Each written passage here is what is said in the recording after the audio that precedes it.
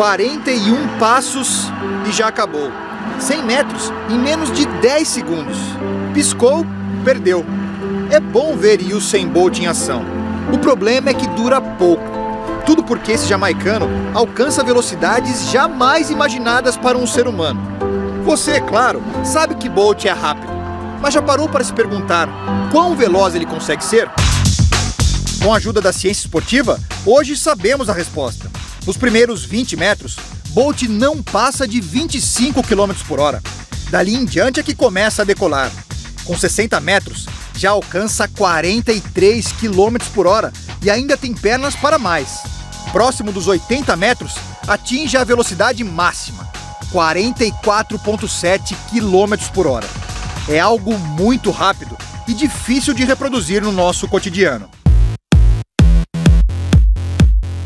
Pense, por exemplo, nas esteiras das academias.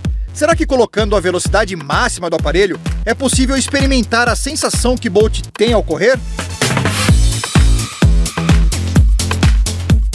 Nem um pouco. Os aparelhos alcançam algo em torno de 23 km por hora, ainda muito distante da realidade do jamaicano. Para simular a velocidade de Bolt, só essa esteira é especial, uma geringonça enorme, cara, usada apenas por atletas de elite.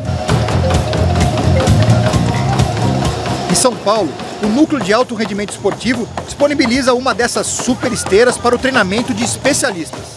O modelo custa 250 mil reais e consegue levar o atleta acima de 27 milhas por hora, justamente os 44 km por hora de Bolt. É um desafio difícil de encarar, os corredores precisam aprender uma técnica específica só para subir na esteira. Essa perna aqui que a gente passa é para sentir a esteira. A gente sente ela passando, depois a gente entra com o trabalho da frequência, da velocidade.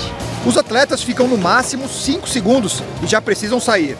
E ainda contam com um técnico de prontidão para evitar que se esborrachem no chão. Extremamente difícil, porque o nível de concentração para entrar na esteira já é muito complicado. Então, atingir esse pico de velocidade é, é muito difícil e perigoso nessas esteiras, né? Se é tão complicado com as pernas, que tal tentar com o auxílio de rodas? Em cima de uma bicicleta, a tarefa de alcançar Bolt parece bem mais fácil. Só parece. Conversamos com quem pedala diariamente, fazendo entregas. E quando conseguem acelerar nas ruas, chegam a, no máximo... Os 40 quilômetros, dependendo da rua. Veículos motorizados, claro, têm potência para ultrapassar os 44 km por hora. Mas nem sempre é possível acelerar tanto no trânsito das grandes cidades. Aqui em São Paulo, por exemplo, Bolt ficaria à frente dos carros em alguns momentos do dia. A velocidade média, nos horários de pico de trânsito, é de apenas 42 km por hora. Para de fato encontrarmos algo mais rápido do que Bolt, é preciso apelar para o reino animal. Alguns bichos domésticos podem sim deixá-lo para trás numa corrida. Eu disse alguns.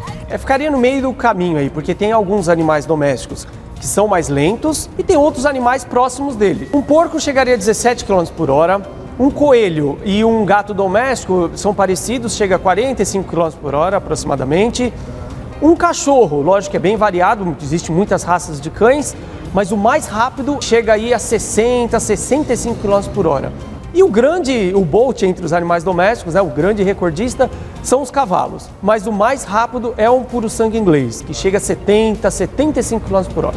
Vale lembrar que essa bicharada aí tem uma vantagem óbvia sobre os humanos. São quadrúpedes, ou seja, quatro patas, que é uma grande vantagem, correr muito mais. Ou seja, Bolt não é considerado um fenômeno do esporte por acaso. De fato, ele é diferente. E agora, direto da praia do Leme, no Rio, você vai ver as únicas pernas capazes de alcançar 44,7 km por hora. E depois de correr tão rápido, elas ainda têm força para dançar.